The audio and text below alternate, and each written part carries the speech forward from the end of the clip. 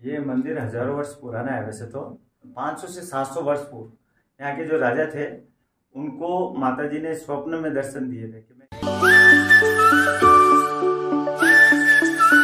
तो hello guys एक बार फिर से आप सभी का स्वागत है मेरे न्यू ब्लॉग में, और आज मैं जाने वाला हूँ माता चामुंडा के मंदिर में। दो चार दिन से काफ़ी ठंड पड़ रही है, और इस वजह से बहुत मुश्किल से आज धूप निकली है। तो मैं नहा धो के तैयार हो चुका हूँ तो चलते हैं मंदिर की तरफ़। दिखाते हैं आपको यहाँ पर सुजत का चामुंडा माता का मंदिर कैसा है।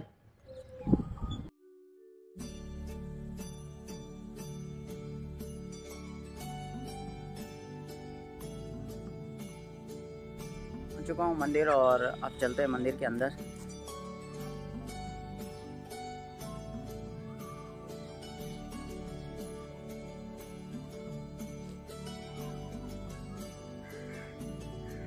तो मंदिर के अंदर चलना शुरू कर दिया है और अभी हम अंदर की तरफ़ जा रहे हैं। तो पीछे जो है वो मेन गेट है। मेन गेट से बिल्कुल अंदर की तरफ़ चल पड़े हैं। मंदिर में जाने के लिए सीढ़ियाँ लगी हुई हैं। तो मैं सीढ़ियों के माध्यम से तो नहीं जाऊँगा। मैं जाऊँगा, एक स्लोप भी है इस तरफ़। तो इस स्लोप से जाऊँगा।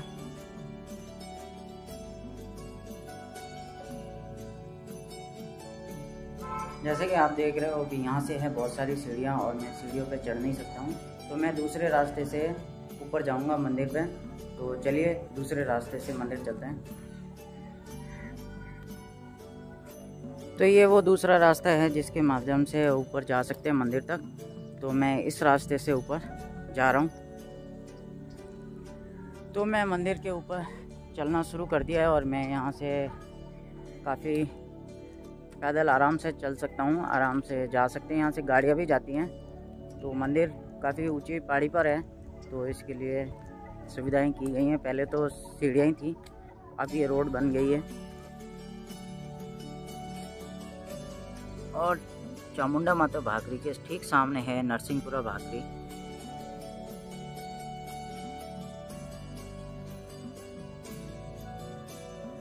और जैसे जैसे पहाड़ी पर चढ़ता जा रहा हूँ, ऊपर से सोजित का नज़ारा, बहुत खूबसूरत नज़ारा आपको दिखाई दे रहा है।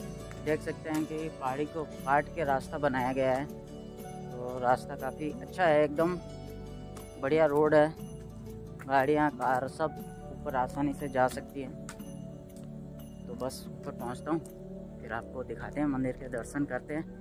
मैं भी करता हूँ और आपको भी मंदिर के दर्शन करवाता हूँ। तो यहाँ पर आकर के रास्ता ख़त्म हो जाता है और अब हमको ऊपर सीढ़ियाँ चढ़कर ही जाना पड़ेगा।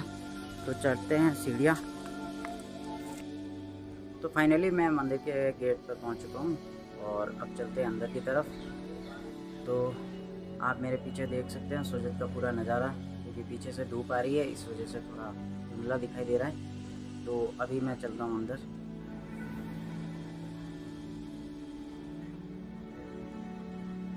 और ये मंदिर प्रकट श्री साचल वाकल चामुंडा माता का मंदिर। मैं आपको एक बात बताना चाहता हूँ कि ये जो मंदिर है वो स्वयं वो मंदिर है मतलब इस मंदिर को किसी ने बनाया नहीं है। ये खुद से प्रकट हुआ हुआ मंदिर है। मंदिर के दर्शन करते हैं। मंदिर परिसर कुछ इस तरह से दिखाई देता है, बहुत ही खूबसूरत मंदिर है।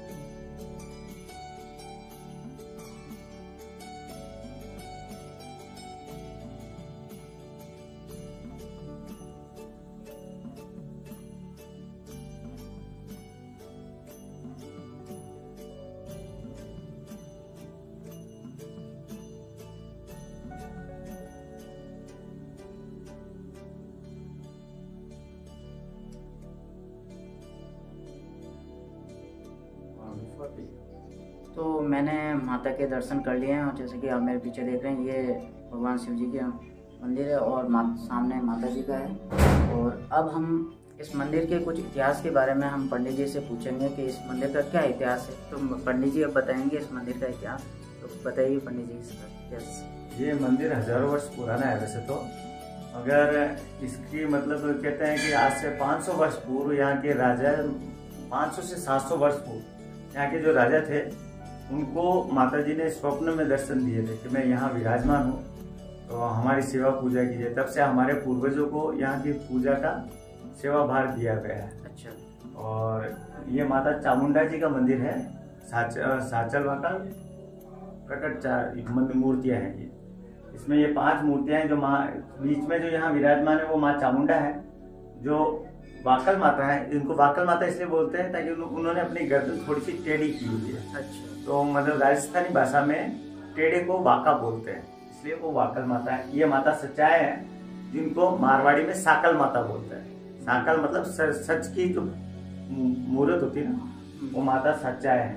और ये काले भैरव है जो लाल दिख रहे हैं ना वो काले भैरव है और वो है तो गौरव गोरे भैरव है।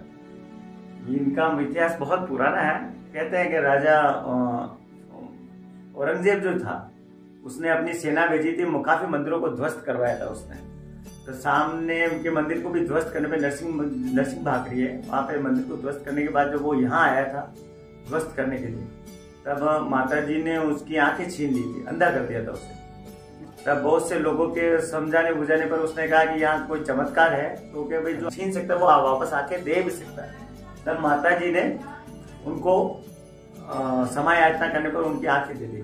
तब उन्होंने मंदिर के लिए कुछ यहाँ पे पौड़िया बनवाई थी, जो अभी नहीं है, ये तो अभी नहीं बनी हुई है। पहले जो आपने देखी होगी, वो पुरानी पौड़िया थी। और यहाँ पे एक गुफा भी है, मातेश्वरी की। ये जो कांच देख रहे हैं ना, मैं अभी आपको खोल के इसके पूरे दर्शन करवाऊँगा। ठीक है ना?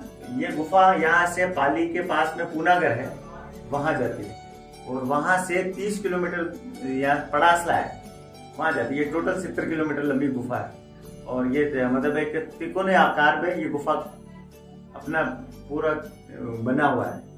और कहते हैं कि मतलब माता जी के ये सात जो मूर्तियाँ है ना, एक साथ प्रकट हुई थी। सात देवी एक साथ प्रकट हुई थी और ये दो भैरव एक साथ प्रकट हुए थे। तो तीन देवे यहाँ है, दो पूनागर है और दो पड़ासलाम है। ऐसे करके सात देवे एक साथ प्रकट हुई थी, ये दो भैरव है। और इसके मतलब काफ़ी ये बाणासुर नगरी भी कहलाती है सोजत सिटी। तो ये भगवान कृष्ण के टाइम में बारासुर के हज़ार भुजाएँ थी। तो भगवान ने सुदर्शन चक्र से जब काटी थी, उनकी भुजाएँ तो वो यहीं चारों तरफ़ बिखर गई थी। उसी की वजह से यहाँ पे की मेहंदी बहुत प्रसिद्ध है और लाल होती है। तो बहुत मतलब हाथों में जस्ती भी है। तो उसकी प्रसिद्धि का कारण ये भी कहा जाता है। और वैसे तो इसका ऐतिहासिक काफ़ी है यहाँ आप देखो जंगल वगैरह में। काफ़ी तरह के आपको यहाँ मतलब पशु पक्षी मिलेंगे और उसके साथ सांप वगैरह बहुत है मगर किसी भी पेड़ों को कभी किसी तरह का नुकसान नहीं पहुँचा आज तक का ये मैं आपको गुफा के दर्शन कराता हूँ। ये, वो जो गुफा है हाँ ये गुफा है जो लगभग तीस किलोमीटर तक फैली हुई है।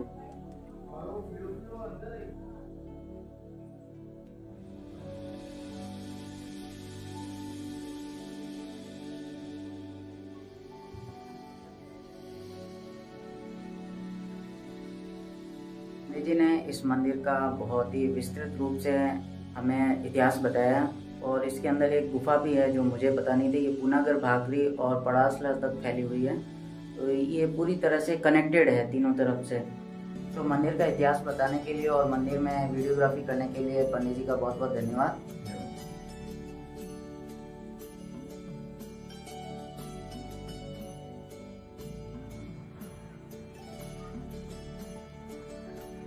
तो ऊपर से सोजे सिटी कितना खूबसूरत लगता है। सामने जो पहाड़ी दिख रही है वो नरसिंहपुरा की भाकर है और इस पर नरसिंह जी का मंदिर है। तो मैंने माता के दर्शन कर लिए हैं और यहाँ पर दर्शन करने के बाद मुझे एक माता का नन्ना भक्त मिला है। तो आज मैं उससे भी आपको मिलवाता हूँ। तो इसका इसका नाम है विहान और ये माता का बहुत बड़ा भक्त है। और कुछ कहना चाहोगे? और कुछ नहीं इस वीडियो को लाइक करना और ज़्यादा से ज़्यादा शेयर करना और सब्सक्राइब करना। Okay thank you bye bye तो मंदिर के दर्शन करने के बाद अब चलते हैं घर की तरफ़। मंदिर से उतरते वक्त यहाँ एक साइड में है। तो यहाँ पर भी एक छोटी गुफा है सजननाथ जी की। और यहाँ पर भी पूजा होती है। तो माँ चामुंडा के दर्शन कर लिए, माता रानी के दर्शन हो चुके हैं और अब चलते हैं घर की तरफ़। और अगर आपको ये वीडियो पसंद आया हो तो लाइक, शेयर और सब्सक्राइब ज़रूर करें। तब तक के लिए बाय